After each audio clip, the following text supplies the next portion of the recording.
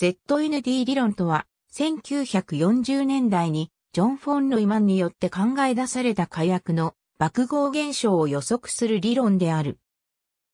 同年代にソビエトのヤーコフ・ゼルドビッチも同様の理論を考え出し、ソビエトの核兵器開発に役立てたと言われている。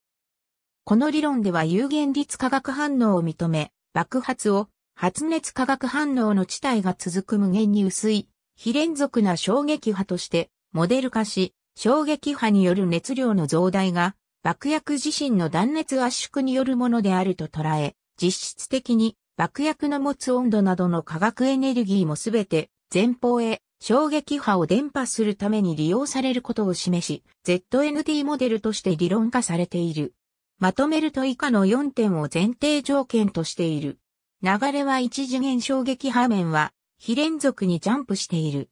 これは各種輸送現象を無視したため衝撃波が通過する前の反応速度は0。通過した後の反応速度は有限。そして逆反応は起こらない化学組成以外のすべての熱力学的変数は局所的に熱力学平行に達している。非常に大雑把に言うと、衝撃波が通るとき圧力 P1 は、非連続的に pH まで急上昇する。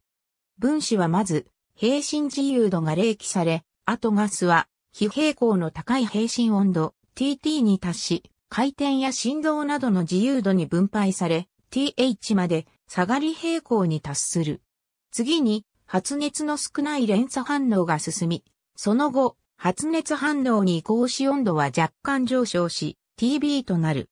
第二次世界大戦中に、マンハッタイ計画の中で原爆の爆縮レンズを作るには、従来の CJ 理論では、精密な爆縮の制御を計算することが困難であった。特に爆縮レンズは、爆速の異なる複数種類の爆薬を組み合わせて使うため、より高度で精密な演算方法理論が求められたところから開発された。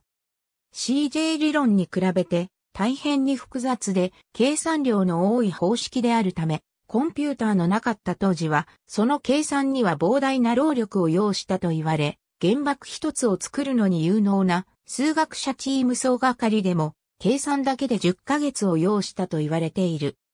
1920年代後半には、バクとドロキ並みが実際には計算で求められているような一次元ではなく複雑な三次元構造を持つことが示されていたが1950年代になると、見え点を持つ複雑な三次元構造であることが判明してきた。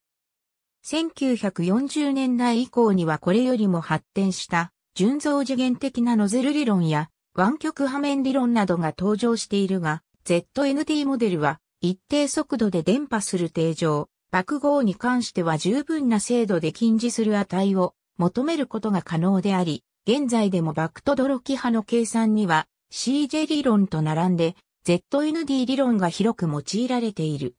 この理論は核兵器の製造に必須であるが、特別に機密事項というわけではなく、理論そのものは大学などで火薬学の研究で教えられているし、論文や著書も公然と出回っている。ただし、非常に難解であるため実用化できるほどの爆縮レンズを作れる人材がいるかどうかは全くの別問題である。極率を持ち変化する衝撃波の扱いは ZND 理論に限らず極めて難解である。ありがとうございます。